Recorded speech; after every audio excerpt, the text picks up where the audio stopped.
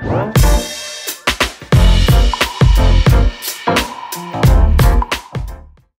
Joel, welcome to the His and Her Money Hello, Show. Joel. Hey guys, how's it going? Going well. Awesome. We're super glad to have you on the show because you have an incredible story of debt elimination. And we know our audience loves to hear real stories from real people who've paid off a bunch of debt. And so we're glad that you were able to make this happen for us. But before we get into your story, can you just take a moment and introduce yourself to everybody that's tuned in and let them know what you're all about? Yeah, sure, I can do that. And thanks, guys, for having me. I'm excited to uh, to share this story. Uh, my name is Joel Young, and uh, currently I am, most importantly, a husband and a, a father to three young boys. Um, and I've got uh, a business that I run here in Cincinnati, Ohio, called Jumpstart Video. I do animation work, uh, spokesman work. I do voiceover work, some acting, uh, just a little bit, not nothing serious or, or too big time. Uh, and I, I also run a YouTube channel, and so uh, I'm kind of doing a lot of different things. But uh, that's what I'm doing these days, and, and kind of where I find myself. Awesome, awesome. So let's talk about the debt that you paid off. Tell our audience how much debt it was and what type of debt was it. Yeah, sure. It was in, in total, it was about fifty thousand uh, dollars that my wife and I had, and we've tried to go back and, and obviously we've shared this story several times. So we've uh, always tried to. It's always harder the farther we get away from it to remember what it all was. Uh, but I do know that uh, it included things like a car payment. Uh, on a brand new car that we never should have bought. It included uh, a decent chunk of credit card debt. Uh, we actually had some personal loans where friends had lent us money. Uh, and of course, we had medical bills um, piled up in there. We had a couple surgeries, uh, some incidents that we didn't expect that just kind of right in the middle of us paying off debt were added onto the pile. Uh, as as I, Mr. Dave Ramsey likes to say, I listen, I'm a Dave Ramsey listener. So he says, Murphy will move into your spare bedroom when you start to pay off debt. And so that's what happened to us. We started out, I think we had about $35,000 in debt, and then it grew to 50 before we were done. So we ended up paying off 50,000 uh, in about 18 months. Wow, fifty thousand dollars in eighteen months is incredible. I'm curious though, what made you even go on this journey in the first place? For a lot of people, they're comfortable in their debt because it's such a normal part of society. Everybody's got a couple car notes. Uh, everybody's got credit card debt. Everybody's got a student loan. You know, for you all in the situation that you were in, what was the eye-opening moment, or what led you guys to want to even attempt to get out of debt in the first place?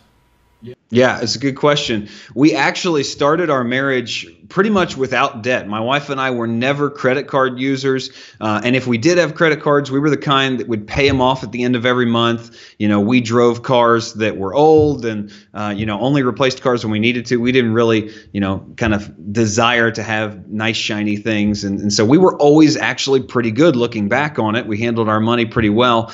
But when we got into trouble, uh, was when life started to happen and then things started to just come at us and and we chose poorly in a couple of scenarios. Like we we had a car we moved across the country. We moved from ohio to florida.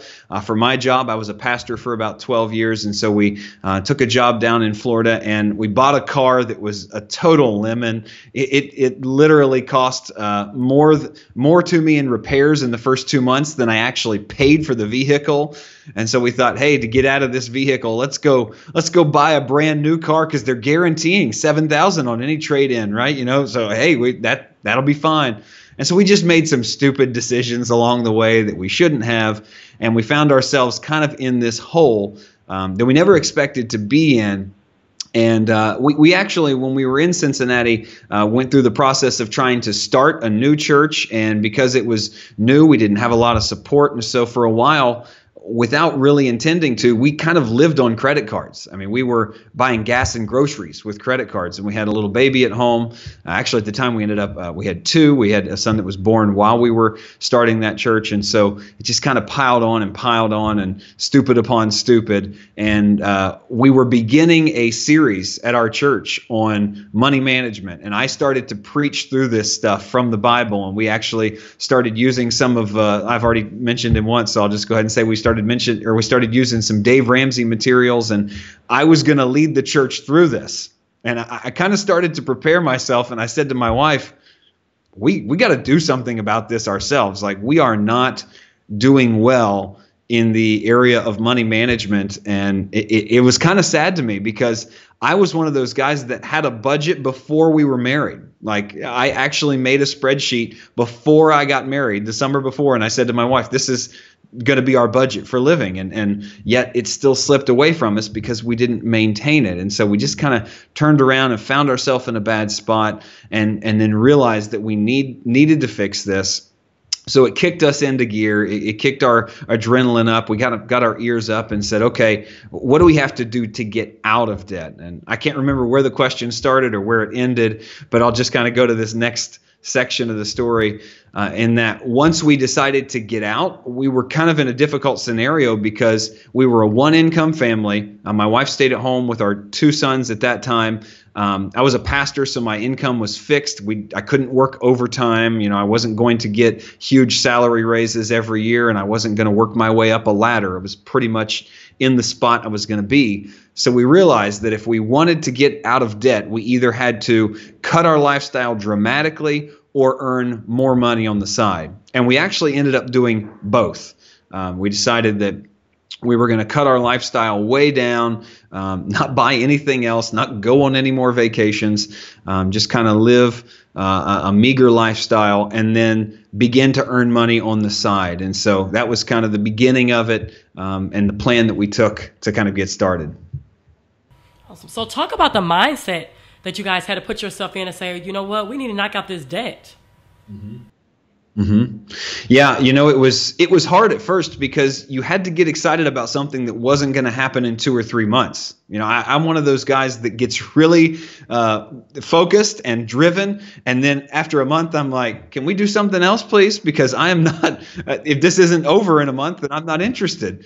And so it was really hard because you were driving towards a goal that was way way out there. And and knowing that $50,000 was pretty darn close to what we earned in a year uh, it was kind of daunting to look at that and say we're going to pay that off um, and and do that in a short period of time. And so we really had to get uh, intentional about being uh, each other's accountability partners. And we made those first budgets and we kind of sat down together. And, and my wife, she's um, you know, a sweet, loving, supportive woman, and she has always kind of let me handle those things and kind of said, you know, um, she trusted me and, and she made sure things were in line, but she didn't really want to know the nuts and the bolts. But when we started, I said, you've got to know the nuts and the bolts. And so um, at first she was kind of resistant, but I think now that we've been in this and through this together, she she appreciates uh, me kind of showing her those things that she's not that interested in because now whether she's interested or not, she knows and she's a part of that. And even to this day, we go over a monthly budget stuff together and, and she says i need to add this in the budget. We need to adjust it here. And and uh, you know she gets to manage a lot more of the household dollars than i do. So it's really important to me that she was involved. So i think that was really the first time in our marriage that we sat down and got on the same page. And it wasn't just me going here's the plan. Let's stick to it. She was with me. And i think that made all the difference. Oh now, one of the unique parts of your story is what you did on the increased income side, because a lot of people find themselves right now asking themselves or pondering that, that thought that you had. Well, we either have to cut our expenses, our lifestyle, or we're going to have to create extra income on the side. And you said that you and your wife did both. So, talk to us about some specifics as to what you did, because I know you created a side hustle that was kind of out of the box. You know, a lot of people are like, man, well, what am I good at? What can I think of? I, you know, I don't have any skills that's marketable, but you were able to kind of brainstorm and come up with some out the box ideas. We'd love to hear more about it. Yeah, no, that it's true because one one of the things that was discouraging to us was that we didn't live we weren't these people that would go out and spend a lot of money on clothes or we didn't go out to eat a lot. So we didn't waste a lot of money before we started getting out of debt. So there really wasn't a whole lot to cut other than maybe some grocery budget to say like, you know, let's just eat peanut butter for a month or something. Um, so we knew we had to create more income. That was the side we were going to be on. And uh, it was actually my wife's idea that got us started. We had used for some creative projects, um, we had used some voiceover talent to uh, finish some videos and i was into the arts and into uh, you know graphic design and a lot of this stuff and so i was finishing up a video project and i hired a voiceover talent to do some work for me And we got the stuff back and we're like, wow, this is this is pretty good. And my wife just kind of commented off the cuff. She said, yeah, that's good, but like you could do better than that, right? And and we were like, yeah, you know, like yeah, I could do better than that. And and uh, I didn't want to use my voice on the project because we were going to be using this, and people would know it was me. And so I said, yeah, but I can't do it. And she goes, well, what if you did what she's doing? And I was like, what do you mean? She said, you know, sell your voiceovers. Like, if you could do this better than, it was almost like a challenge. Like, if you could do this better than her, why don't you do it? And, um, you know, being a musician in a former life, I already had all the equipment I needed. I mean, just a laptop, and I had a, a microphone sitting in the closet that hadn't been touched in years. And so I just kind of took the challenge. I, I created an online post and listing on a on a gig website, uh, started to sell, and and the goal was, hey, just uh, create enough money to pay a bill. Like you know let let's pay uh, the cell phone bill with with your you know in make enough to pay the cell phone bill. Make 90 100 dollars a month. And we're like wow that would be can you imagine if we didn't have to pay for cell phones? And so we started out and the first month like out of nowhere we literally made $400 and i'm like where did this come from? Like we we invested no money. I, I did no training and it was like from A to Z all in one month. It started and it went and it just kept on rolling. And it went from me doing like two or three voiceovers a night to 10 or 15 voiceovers a night. Then the next month it doubled again from like 400 to $800. And we're starting to scratch our heads going, holy cow, like this is for real. And then my customers started asking me for other things other than voiceovers because the way that I had advertised my services was just like this. I'd, I'd made a video that said, Hi, my name's Joel. I'll, I'll do a voiceover for your company, for your business, to advertise your product, for the radio, whatever it is. And people were coming to me saying, Hey, um, I don't want a voiceover, I want a video of you and and you know and, and I'll never forget the very first message that I got about that I said no to the guy came to me and said, I've got an asphalt company, real exciting subject matter, um, and I want a, a, video for my website. Just says, hey, we're, uh, I can't even remember, uh, Bob's Asphalt or something like that, but, and paving. And, you know, we want you on the front page. And I said, no, that's nice, but I don't really do that because I said no because I didn't have a camera. And then I turned around and, and I thought, well, what the heck did you shoot that on? And I and I shot it on this my iPhone, something that everybody has. And so I emailed him back the next day and I said, I've thought it over, I'll do it. And so I created another online listing for video services. And um, that next year, I began to sell more videos than voiceovers, but together in the very first year, with no debt, no startup costs, just using things in my closet and maybe upgrading a little here and here or there, I made thirty-five thousand dollars with an iPhone and a ten-year-old recording microphone, and it was literally totally unexpected. I didn't set out to start a business. I didn't set out to do what we did. We just set out to pay a cell phone bill and when we were hustling, things just kind of happened. I, I, think it's just kind of a testament to what happens when you want something and you go after it and just kind of follow the doors as they open. You know, it's not something I designed and certainly not something I intended, but I can't say that I fell backwards into it because we hit it while we were running forward. So it was uh, an unexpected blessing and uh, something that, that really changed the game for us because without that extra income, we wouldn't have been able to get out of debt um, that quickly, and and it certainly wouldn't have wouldn't have been uh, you know uh, the opportunities wouldn't have been uh, the way that they they actually were. Now I know you have everybody's full attention yeah. now. when, when you said thirty-five thousand dollars a year. Now you said a gig site. Now this was Fiverr.com, I believe it was correct. Yeah, this was this was Fiverr.com, yeah, and this was back when Fiverr was uh, about a year old when I started selling, and back then you literally had to sell everything for five dollars a service, and so it was. It's different now. You they've changed the platform. You can charge a little more. Um, it, it's evolved, but back then you were selling things five dollars at a time. And so, you know, if I wanted to make 50 bucks, I had to sell 10 projects or 10 gigs to make 50 bucks. So I was doing a lot of quantity, um, and and it, it it took a lot of time, um, but it was well worth it. I mean, it was something that um, you know I can look back on now and and and go, you know, thank God I'm through it because I don't want to ever work like that again. I was working eight hours a day, getting home at five or six o'clock, and then working till midnight, one, two, three in the morning, getting up and doing it again the next day, and um, pretty much solid for for 18 months until we got there.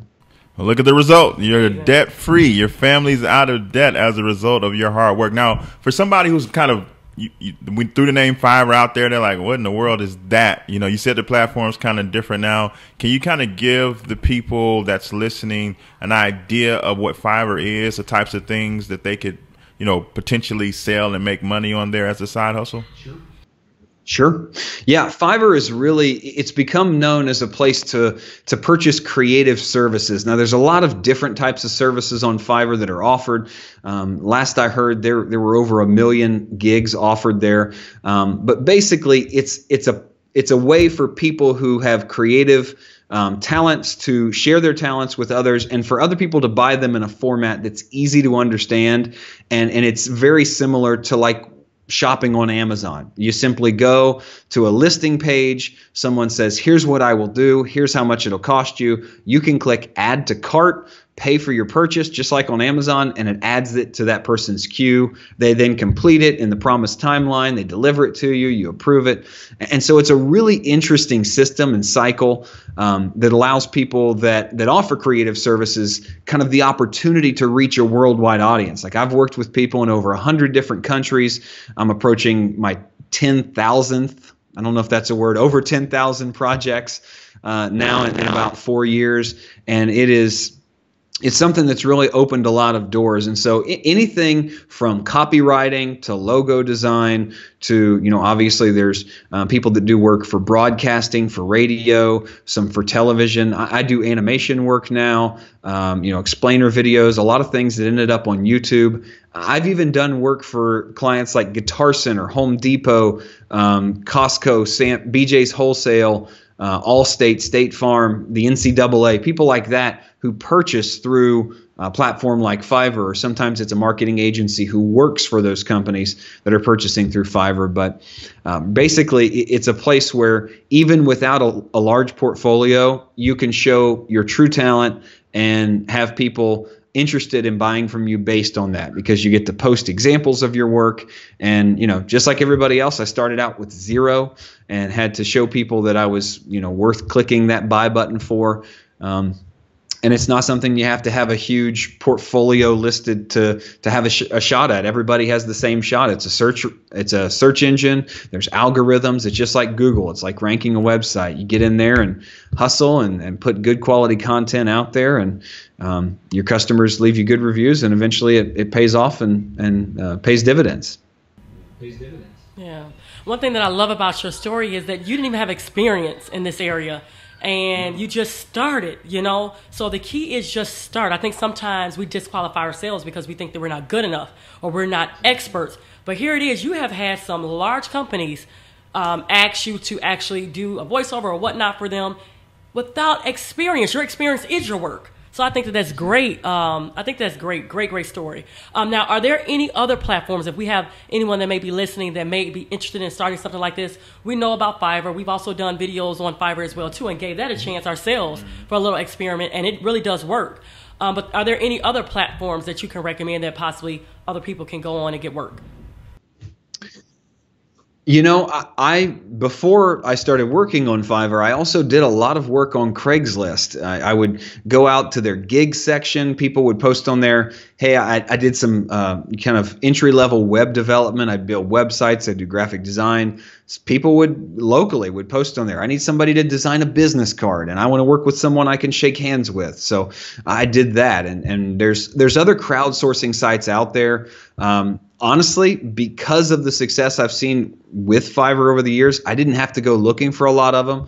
Um, for voice actors, there's things like Voice Bunny. I've done some work on Voice Bunny. There's Voice Garden, Voices One Two Three. You know, a lot of similar sites that are basically crowdsourcing sites where you can post a profile and um, kind of people will come and look through the list and choose based on your samples. But uh, you know that I think that exists for a lot of different um, areas. You know, like there, if you're a graphic designer, there's tons of logo design tournament style websites like 99 Designs and, and things like that, where people compete for um, a, a, project or compete for a job. And so the open marketplace on the internet is growing every single day. And and even though I'm not aware of a ton of different options, I know that really no matter what niche you're in, there's a place to sell it to somebody online and there's a way to market it and a way to get it out there that really only requires you going out there and looking you wanting to do it bad enough and, and wanting to find a solution hard enough. Because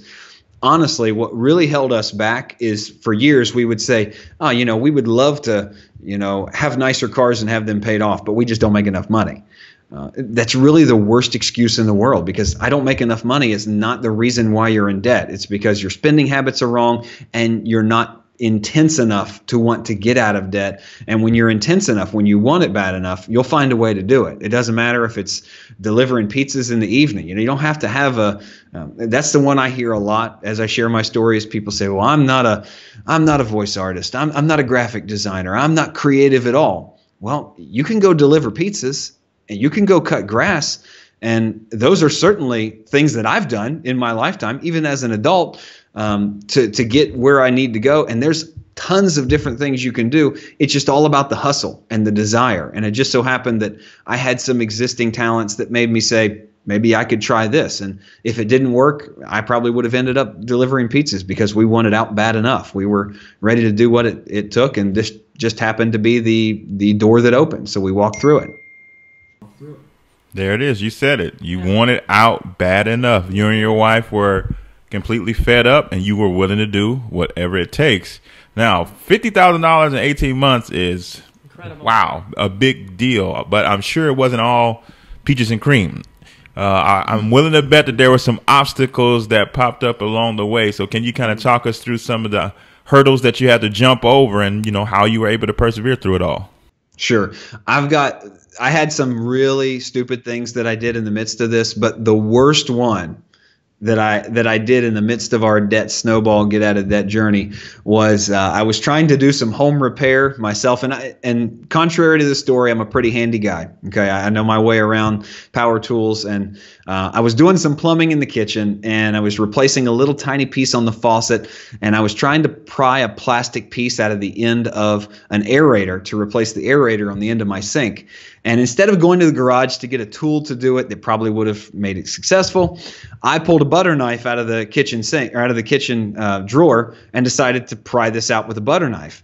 And as I did, I stuck the butter knife right through my hand, right here, and it almost came out on the other side. It severed the flexor tendon on my thumb, and I couldn't move my thumb at all. I started to freak out, and I'm like, oh no tried to walk it off, and that didn't work. Um, so we went to the hospital, and turns out, yeah, I, I, severed the tendon. The tendon creeped all the way to here. It was really gross and weird. But that surgery ended up costing me. I think it was over five thousand dollars for the, the emergency room visit, the surgery, and all, and this is in the middle of us getting out of debt. And I was like, man, this is you talk about stupid tax this is stupid tax because that was 100% my fault and no one else caused that. It was me being dumb and i almost cut my thumb off and and we paid for it but we we paid it off and we got out and and that just was rolled into the amount. And um, you just would never guess that something like that would happen to you as you're trying to get rid of debt. Just it just happens so um, that that might be the biggest uh, obstacle we had in the middle of it because it was like just when you seem to be getting traction, it's like boom, here's some more debt right on top of you. No, I think that we've heard it all, but I don't think that we've heard that. that was Whoa, money first. That took the spot right there. My goodness, thank God your thumb is still intact, but a yeah. butter knife? You, you know, yeah, like you never would think that a butter knife can actually sever like that, but it can. You know, wow. And so now when I cut my steak, I'm really careful. I know you are. I know you are. Oh my gosh! Wow. Talk about an obstacle for sure. And you guys overcame it. So I think that that's so important that you guys overcame that. What would you say have been some of the important factors that have kept you guys on this path um, of becoming debt free? You know, I think the most important thing was that we both, my wife and I, both had the same goal. And and, and truthfully, for us, one of our goals when we were living in Florida, um, you know, being a pastor was difficult because it didn't it meant that we didn't get to choose where we lived and, and we kind of just had to go where uh, my job took us and, and we lived i can't even remember. We've lived in, in about 15 different houses in 12 different years of marriage. We're living in our fourth home that we purchased. So we've owned four homes. We owned two homes for almost a year at one point. Um, we had some really difficult times just kind of moving all over the place. And when we lived in South Florida near Miami, we were about 1,300 miles away from our family here in Cincinnati. And so one of the things as we were getting out of debt that we said is that, you know, it, this could open doors for us to move back closer to home. Uh, it could open up the opportunity for us to get our, our young boys uh, back closer to home, which you know was a real um, was a real desire for for both of us, especially for my wife. She has a very tight knit family, and she wanted to be close, uh, and, and, so did I. You know, we wanted to, to raise our kids around their aunts and their uncles and their cousins and their grandmas and their grandpas, and so uh, that, it was really important for us to kind of look ahead into the future and say, if we were debt free, what could we do? And, and, that was, I think, the biggest thing that kept us together, uh, that kept us on this path. And uh, you know, my wife is the kind uh, that that you know, I think God gave me her on on purpose and and God gave her me on purpose because she's so generous she would give away every dime we've ever earned. And uh, I'm I'm not exactly stingy but I'm a little smarter with my money than to give it all away. And so um, one of the things we wanted to do was be debt free so we could be more generous. And you just you can't be generous when you're broke. And you know opportunities come along people are in need and you want to help. And you hate saying i can't because you feel trapped and you feel like you can't participate in life the way you want to or you know show people support the way you want to. And so it's kind of all those goals wrapped up in the one i think that kept us on track to say you know we want to be generous. We want to live life on our own terms and, and not be dictated to uh, and to kind of be able to have the freedom to choose where we live where we work, how we work, all these different things. It was just all rolled up into one, and and there wasn't necessarily anything uh, bad about our lives. We had a great life. It's just we saw that you know being debt free would be better, and so that that really kind of kept us together uh, when things were tough and and when things were hard. Um, and believe you me, with two little kids at home uh, and a guy in the corner of the bedroom trying to do voiceovers at you know bedtime, going, "Hey, everybody, sh- be quiet out there." My wife did a whole lot more than I did in those 18 months. so the first thing she did when we moved was said, "You need a studio that's out of the house. You need to go away so that we don't have to, you know, be quiet 10 hours a day." the Sunday night sit down is being brought to you by our friends at Policy Genius. That's your go to stop to meet all of your insurance needs because they have a totally free tool on their website where all you have to do is put in your information and you will get instant quotes from multiple reputable insurance providers so that you can make the best decision possible when it comes time to purchase insurance. To find out more details, all you have to do is go to hisandhermoney.com slash policygenius. Now, you mentioned that you come from a, a close knit family, and for a lot of people, when they get on this journey, uh, they they hear voices from outside, family and friends that are kind of talking them out of it because it's such a foreign concept to so many people. Yeah. What was the reaction like from your family and friends as you all were attempting this incredible goal of getting out of debt? Yeah, you know, I don't, I don't know that my family ever realized how um, how much we were doing to get out of debt when we were doing it. It wasn't like a we didn't make an announcement and say we're getting out of debt just so you know. Um, but I actually had a brother, an older brother, that uh, went through this whole program and this whole process um, before me and, and did some crazy things that only now do I really understand. Like he had a really expensive Tahoe, Chevy Tahoe, nice truck, and he sold it and got this beater um, that was just it had rust on it, and it and at the time I'm like, why would you sell that to buy this? And I didn't realize that he got rid of tens of thousands of dollars of debt when he sold that Tahoe.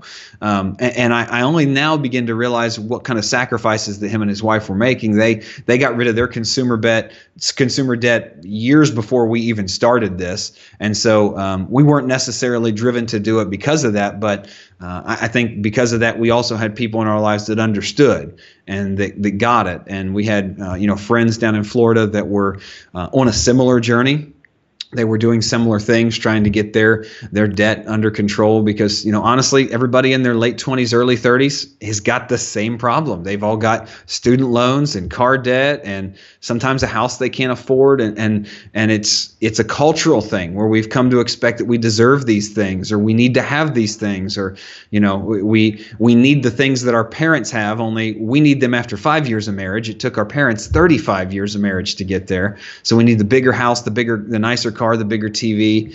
Um, and, and, so a lot of my peers were in the same boat of, oh my goodness, I you know I don't know what to do. I'm up to my my ears in debt. And so uh, we had a lot of positivity around it.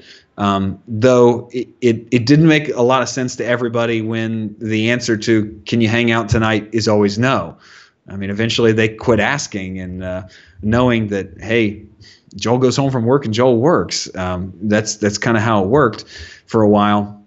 Just uh, it made it all the more amazing that I still had friends when we were done. So we were excited when we got done and, and got to go to movies and, and we did fun things, but we, we tried to limit them so we could get this paid off as quickly as possible.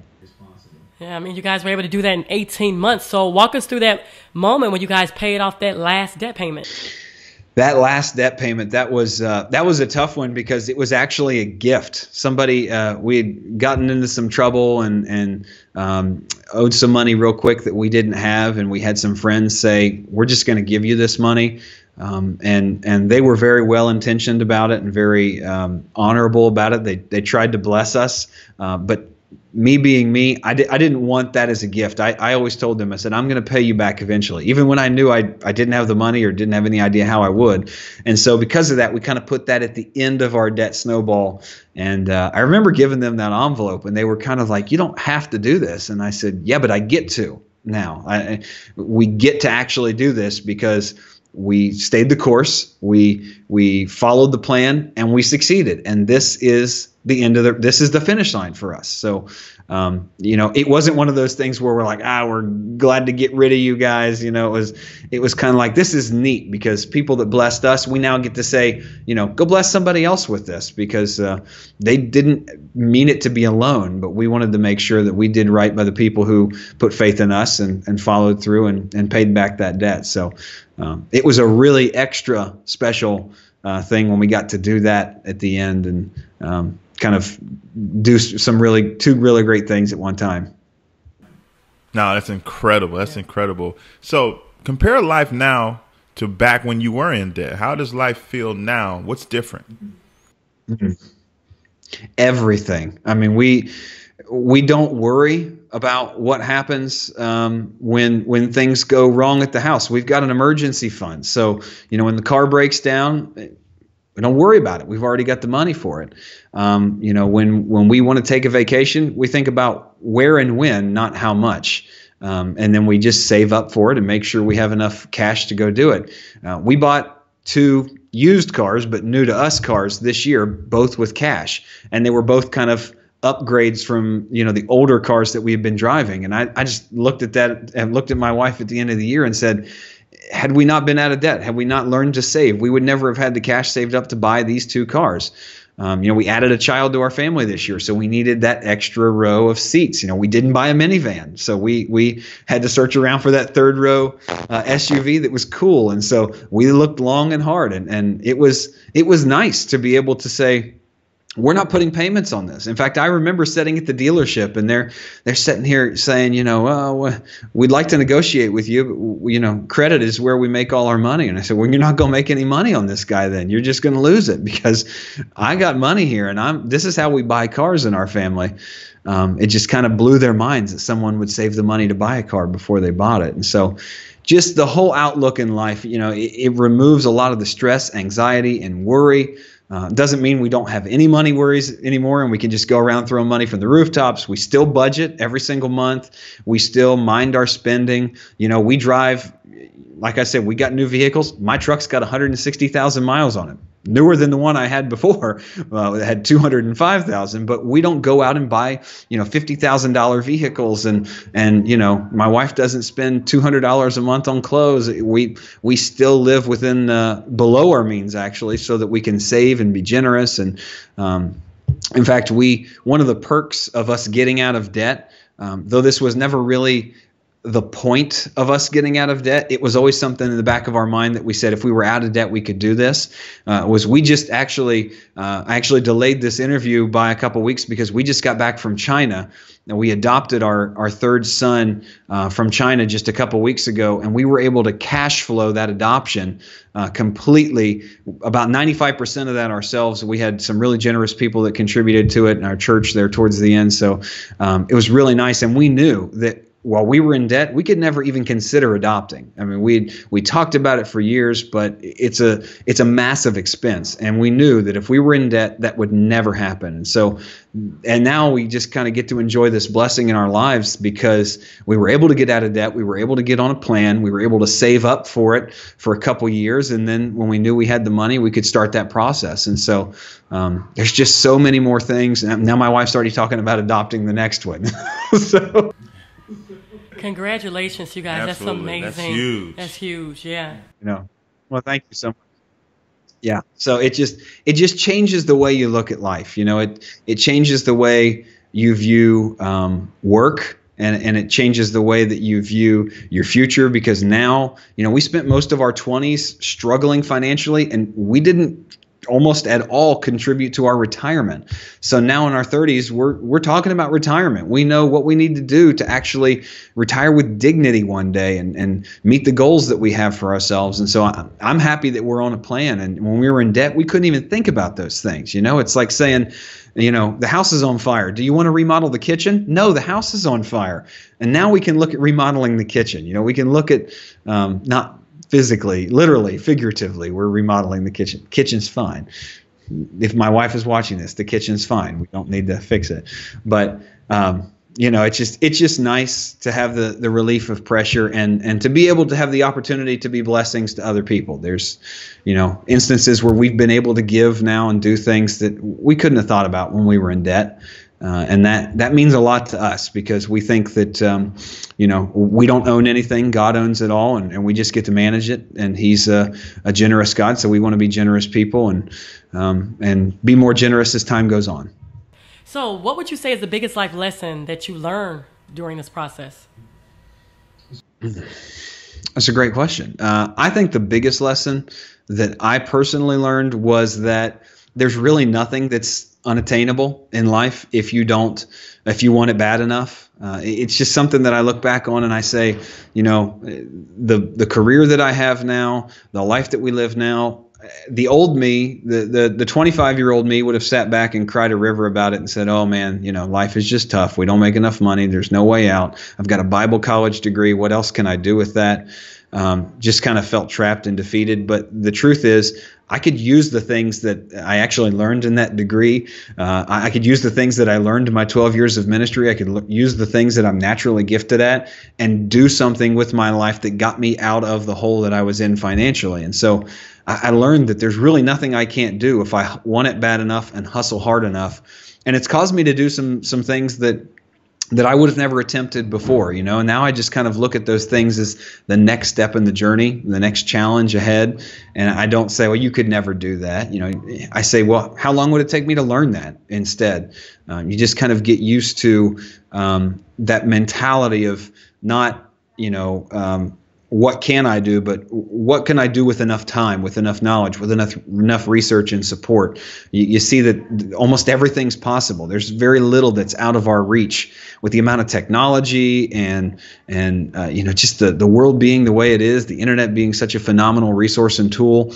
I just think about the things that my kids can do, and I'm trying to teach my kids now. You don't need to fit into a box. You know, I'm even telling my boys You don't have to go to college. Like mommy and daddy are saving for that. You don't have to go. You can do whatever you want to do, and you probably don't need a degree to do it by the time you get there. In fact, all my peers have tens of thousands of dollars of college debt, and a lot of them aren't even working in the field they studied in. So, you know, it's just a matter of wanting it bad enough, hustling hard enough. And I'm not against college. I like college. I want my kids to go to college. Reed and Cooper, go to college. And Maxwell, go to college. Uh, so, you know, it's just one of those things that uh, it's just changed the way I think about life and, and the way we kind of approach um, living life and, and raising our kids and um, just everything, really.